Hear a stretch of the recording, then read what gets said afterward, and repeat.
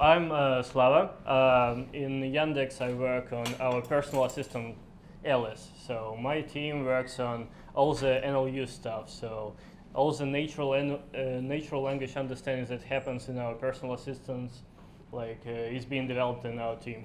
So that means we like work on su such stuff as text classification, uh, intent classification, semantic parsing, semantic tagging, like dialogue managing, like all the stuff that needs to uh, that's required to for like personal assistant to understand you and to make a decision, like what to perform next.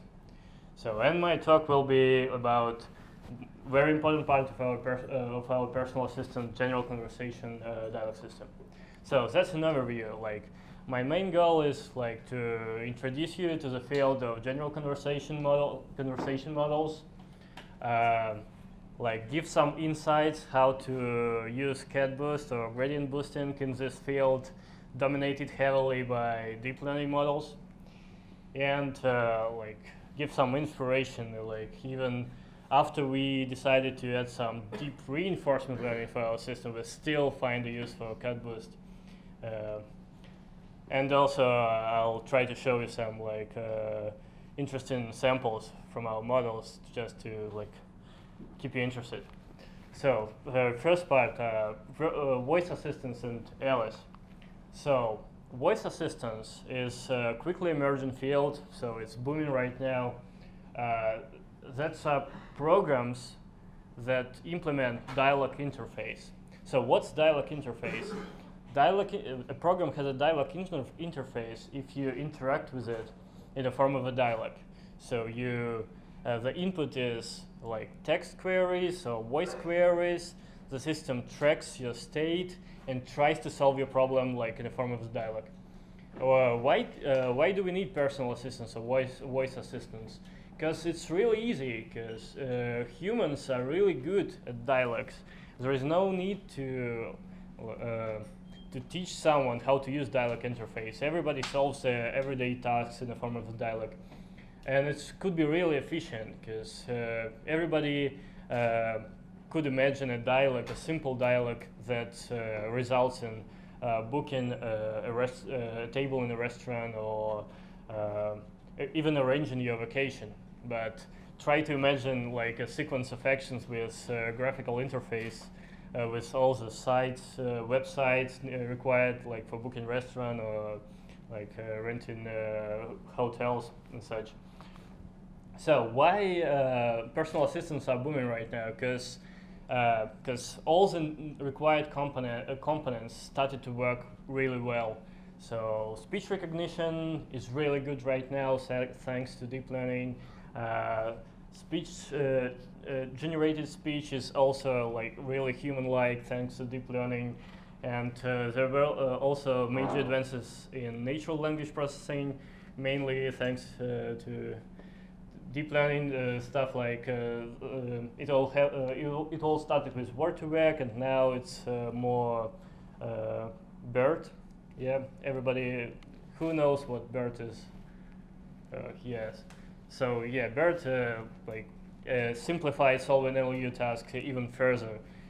Um, but uh, still, we are really far from uh, replacing a human assistant because we, still have like um, a long way to go mainly because we don't have a large data set of dialogue interactions that's, that's required for all the models we want to train. So Yandex has its own personal assistant. Uh, her name is Alice. Um, uh, it's, uh, she launched uh, two years ago uh, in a mobile app, and now uh, we have our own smart speakers a big smart speaker launched uh, a year or so ago, or maybe a little bit more, and uh, a smaller one. So they're called Yandex Station and Yandex Station uh, Mini. So um, uh, Alice, so what? Despite uh, her uh, her young age, Alice is like really capable. So she's able to search the internet because Yandex is a search company. That's uh, our main uh, that's our main field. she's able to tell you news, search for organizations, tell you weather. She knows uh, how to show routes and know when to expect traffic jams. She can uh, also like uh, play music, search for films. You could uh, interact with your smart home devices through Alice, um, and like uh, lots of other stuff. And also, she is able to converse on a wide range of topics. So why we think that this last thing is important? Why uh, we need our personal assistant to be able, um, uh, why we want our personal assistant to be able to converse on like wide range of topics? Because uh, there are some uh, researchers, research um, um, results that um, like if uh, that uh, users uh, that uh, firstly it leads to mo more human-like experience. you do not expect some like uh, robotic commands as input or robotic commands as outputs. Um, it increases user uh, retention. They tend to experiment with Alice. They tend to come back to her, try different things, try things that might work, things that might not work.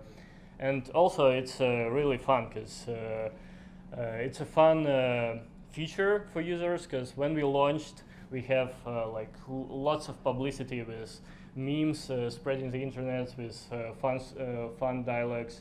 And it's a really cool project to work on because it's really close to like solving general intelligence in some way because a good general conversation system could I don't know solve logical puzzles it could uh, uh it should like uh, set its own goals in the conversations track if she's completed them or not so um, so how to train your own general conversation system? So first you need a data set, uh, and is no surprise uh, you need to find data sets of human-to-human -human dialects. It's a hard task to do, but and the data is scarce, but uh, whatever you find, just throw in your model and hope it will it, it will like get the best from these dialects. So these dialogues could come from social networks, subtitles from movies. So Open Subtitles has a huge data set of all the subtitles uh, in one file. direct speech from uh, books. Um, uh, there are also screenplays available online. Or, or like any dialogue would uh, uh, would go. Also, there are like uh, subtitles from South Park available, like on on uh, like fun side, so you could uh, train your own uh, like Cartman, as I did like several years ago. Um, and how to train your model. So the state of the art is just to predict the next utterance. You have a context of a dialogue. It's several um, several utterances, and you need to come up with the next one. Um, so you know language modeling. In language modeling, we predict the next word. That's, pretty much the same stuff, but we predict the, predict the next sentence. So there are two main approaches to this task. One is called generative models, so sequence-to-sequence -sequence models. Uh, this approach borrows results from machine translation. Basically, it tries to translate uh, context of the dialogue to uh, our response. So, uh, and it, and, it, does so uh, in like word by word uh, via Markov uh, process. So it's an autoregressive model. It has and, and generates words by word, generates sentences word by word, or subtoken by subtoken uh, to be more exact. So there, here's a, an example of a joke generated by our model. I um, I translated it to to the best of my language, uh, in, in English language uh, capabilities. So in a mental hospital, the lines are crazy long. yeah, I think it, in Russian it was better. So okay, uh, so it could uh, could produce some brand new uh, utterances that uh, nobody's seen before. Uh, that's the main uh, advantage of this model, and also that's the main disadvantage of that model, because uh, some utterances could come out uh, ungrammatical or offensive. Um, another type of model uh, uh, doesn't have these problems. another type of models are selective models. Selective models, um, when we use selective approach, we um, we think that all, all the sentences that we'll ever need were already written. So we like make a database of all the responses we'll ever plan to use and train a similarity function of uh, context of our dialogue to the uh, to the utterance we will uh, use in in a conversation. So uh, and we'll try to train the similarity function in a way that uh, replies that make sense uh, as a like continuation of the dialogues would get a high score, and replies that doesn't make sense uh, would get a low score. And then after you have such uh, such a model, you, you could just uh, like look through all the database of your responses and select the most the ones with the highest score. Like if you if we are applying neural nets for this problem, the usual architecture looks as follows. You have one tower uh, or one set of parameters that takes context as an input and embeds it in a like fixed dimensional vector. And you have another tower that takes uh, response uh, as an input and uh, embeds in, in the same space, semantic space. And you try, and the score function usually is just uh, dot product or cosine similarity be between these two vectors. And we try to uh, train these two models in such a way that uh, like uh, uh, that responses that make sense as a continuation of the dialogues get a high score and others do not. So these ones really uh, much easier to train, they're faster to apply, uh, you could limit them to like good and grammatically correct responses, uh, like delete all the bad words and such.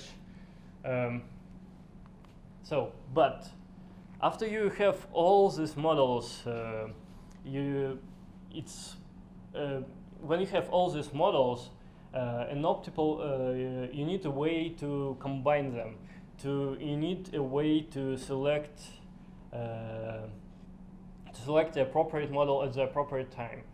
And the best model, uh, the best way to do so uh, was to use CatBoost for that problem. So you get a context of a dialogue, you collect candidate replies from all the models you've got. Some of them could be selective, some of them could be generative. You like calculate, uh, you do some feature engineering, throw this uh, replies to CatBoost, and you and CatBoost produces the final ranking. So a little bit more details.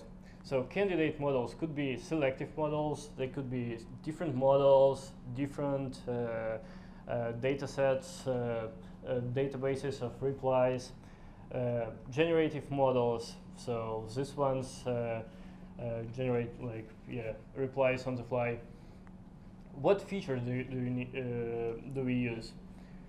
Um, basically, you need to come up with, a fe with features that allow you to compare replies from different sources.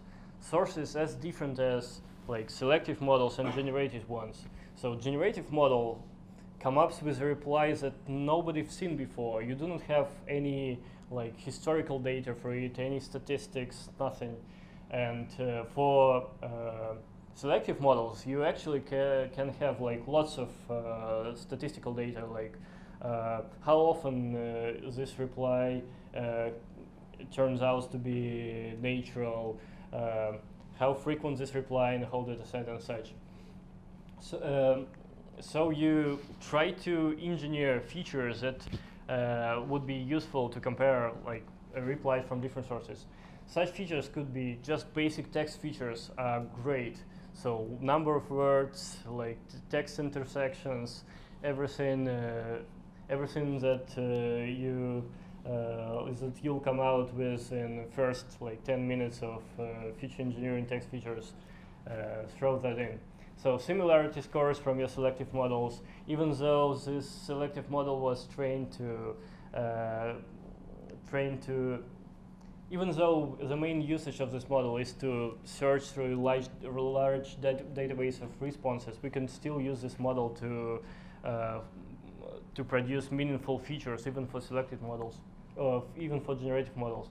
Likelihood from generative models, and one of the important features is a categorical feature.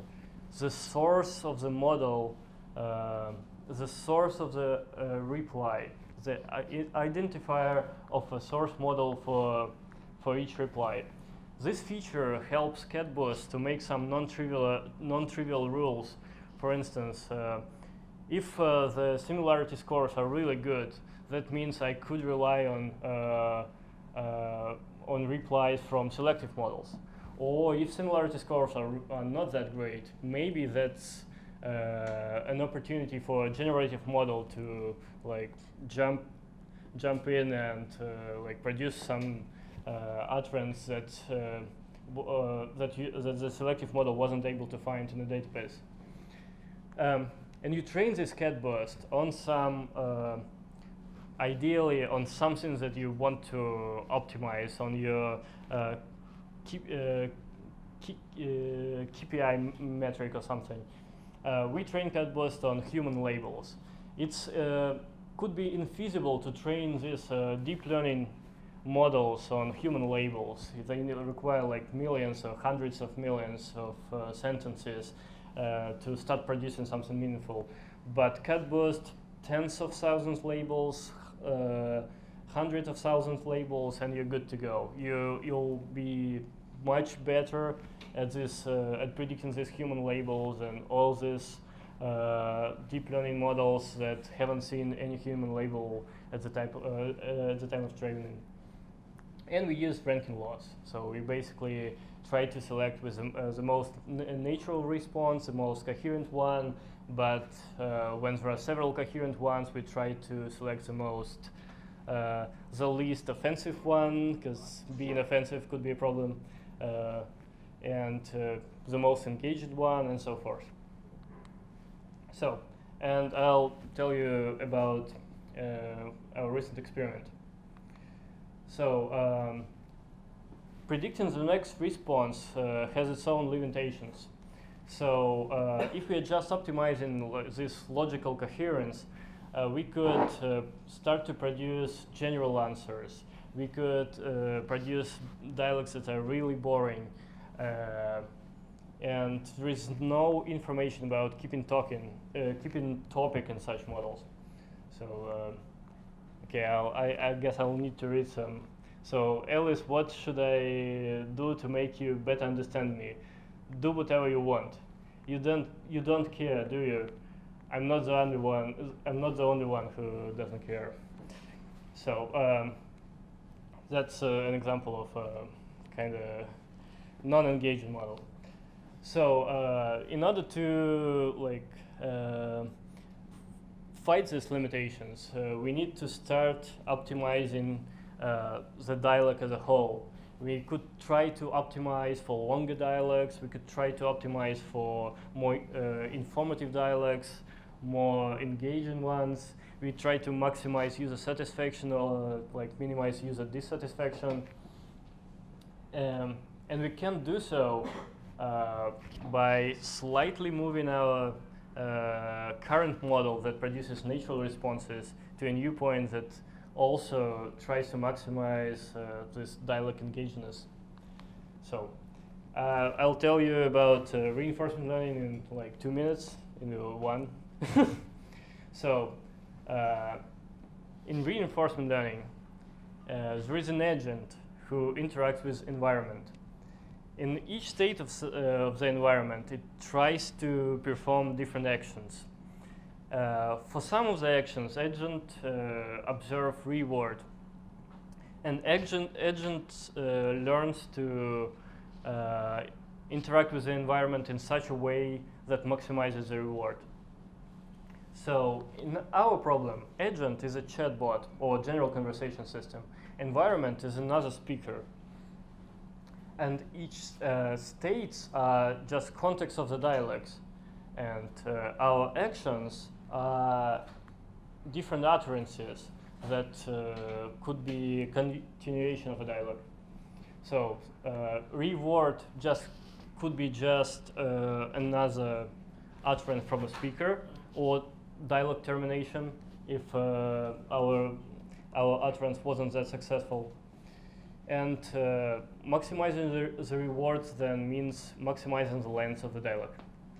And the most surprising thing that it's possible to train such uh, try uh, to to train such agent while uh, this agent is talking uh, to itself, because uh, we trained our agent for like a really long time to be naturally to produce natural responses to, pro to produce logically coherent responses and after this uh, some time it became quite a good simulator for uh, a human being. So uh, if you sample dialogues uh, from this model they would be they would look quite natural.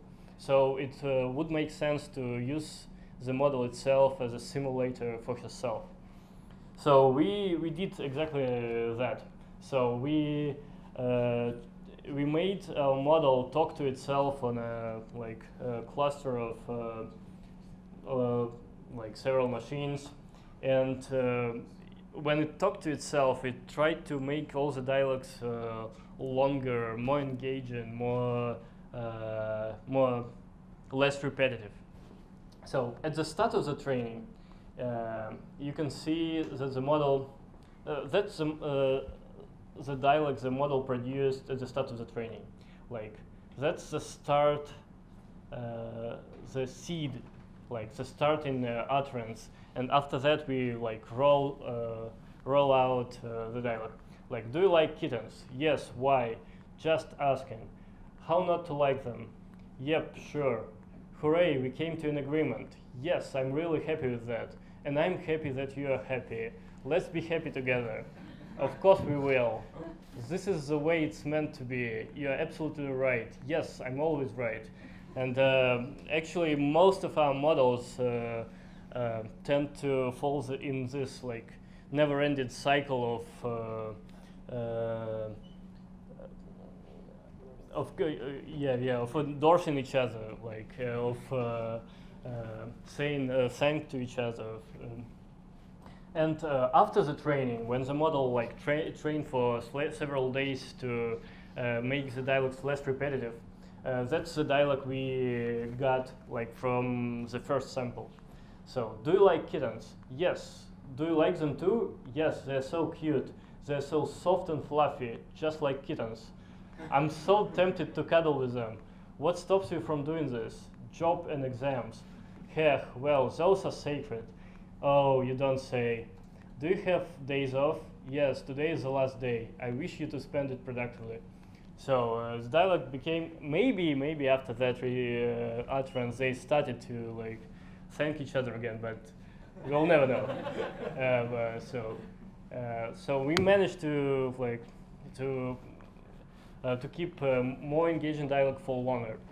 Uh, then we used that, that model uh, and deployed it to production for, to, for, to talk with real users. We did so by like basically combining the, this model with our uh, local policy. So this policy, our CatBoost, was trained to optimize this uh, coherence, uh, not offensiveness, and things like that. Um, this, uh, this model was trained to, uh, this model is nearsighted, so it's like really myopic. It, it just tries to make things happen in, um, in the, uh, make things look good in the next step. And this thing uh, is farsighted. It tries to make things uh, good in a like longer horizon. So we combine them pretty much in that way and dialogues with real users became like much much longer much more engaging so that's uh, bas basically that's it. I hope uh, hope you like this talk. Uh, thank you.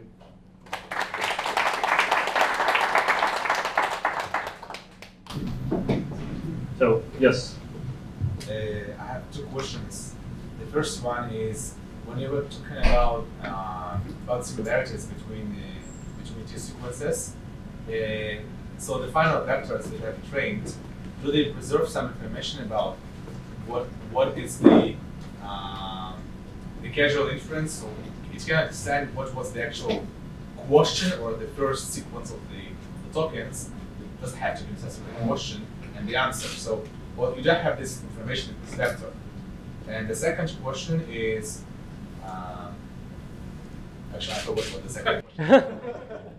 so the first one, um, um, could, could you could you rephrase it a little bit? Well, you have told that you essentially you want to train these vectors, right? Yes. So you're training them, and after that, they have a, they have certain similarity. But whether you can actually say that the low Mary was the first sequence and the high Darling was the second, second one. Does, does the model keep this, this uh, information? Um, so I'll try to give a little bit more details and uh, see if it answers your question. So these two uh, towers, these two parts of the model uh, are different ones. They do not share parameters, and that that uh, turn out to be to give better results in our in all our experiments. Moreover, this this guy uh, could take several utterances, so the context of the dialogue as an input, while this one only takes one utterance, so reply. So the model is not symmetri symmetrical. So it's it uh, one one tower uh, takes context of the dialogue as an input, another like reply. Um, after after after the training, uh, it doesn't. Uh, if it if if there is no overfitting, it doesn't remember which reply like was exactly suited to which context. But uh, but all the replies that the model thinks that are suitable for that context uh, look pretty reasonable. Um, does it answer your question? Yeah, yeah. I, and I remember the second question. Okay, cool. uh, do, you, do you use the, the actual ASR deep learning models in production? Do you have other models in production? Uh, so on this first step, like our uh, if it's if it's used in production, then then which which one? Okay, yeah, we we definitely use. Uh, so this thing happens like before my uh, before my team starts to. Um, starts to play like uh, the role in the pipeline. So this uh, our team gets a text as an input, but our uh, my colleagues work on this thing, and we use end-to-end ASR right now in production. So we uh, like um, currently we use mostly um, CNN arch like architecture similar to what Facebook did. If you know, like Facebook has uh, an end-to-end ASR uh, open sourced, and we our best models look kind of similar to that. We have another experiments with uh, transformer-like architectures and such, but they're still uh, ongoing. So our, our, best ASR comes from deep uh, learning architectures, yes. yes. I also have two questions, but I remember them. Um, so, um, a quick selfish non-technical question. Okay. Uh, when you ask Elisa to play a song, if it's uh, not a Russian song, then it always matches it to a similar sounding Russian song. Yeah, yeah, yeah. That's. Uh, is, is, there any plan to integrate languages into the? Yeah, yeah. That's how the ASR works. Uh, so, um, it uh, no, it's it's it's. Um, of course, our main focus is on uh, Russian language, but ASR like did a lot of work in order to start to recognize all the songs, all the crazy songs on uh, Yandex Music that uh, that people are asking for. Maybe it's not uh, very good with accents, or maybe it's still not good with uh, French songs or uh, German songs or stuff like that. But we are like they're moving in the direction of covering like all the possible songs that uh, Alice is able to play. And the second question, you said you're using ranking losses. Yes. But uh, you're only ever displaying one option for the user. So you never really know, you're not showing a user five options, and he never chooses the third one. So you Yeah, yeah. Uh, so we have a like I have an easy answer for that. Uh, it's not a problem right now for us because we um, it's really hard to get a meaningful feedback from the user when you there is no such thing as click in uh, in personal assistants. They do not click on the results you're presenting them. You kind of give them that, an answer and hope that it's correct. Uh, you, uh, it's you can try to figure to figure out whether the answer was actually correct or not by user behavior behavior after your response, but it's a tricky question, uh, a, a tricky problem to solve. And uh, in like our general conversation models, uh, we are still uh, like experimenting with that. There is no clear way of telling whether your reply was successful or not. So as we are not using uh, like um, as we are not using user feedback at that point, so that's not a problem.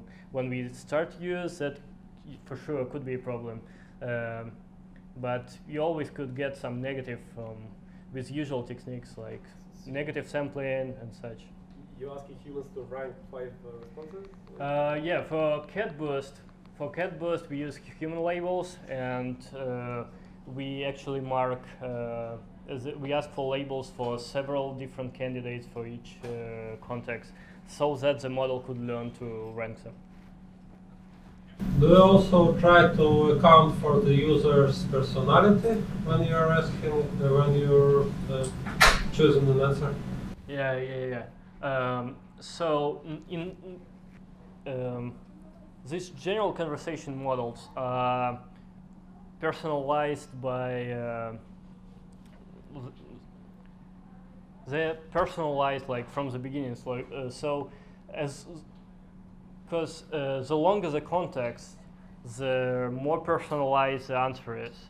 So we do not use some um, really long-term features, but uh, in these general conversation models, you could uh, observe the behavior that if you are being rude to it, if you are talk, uh, if you are rude to a model, then it's kind of starts to like talk back.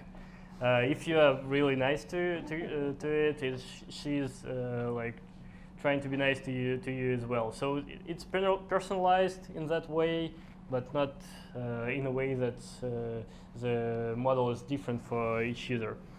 But in different scenarios, in um, not in general conversation, for example, in music, uh, Alice is personalized. So when you ask for music, it tries to predict the most suitable song for you. So some of the scenarios are personalized, like in a general sense. Uh, some of them are kind of not. Okay, Thank you very much. Thank you.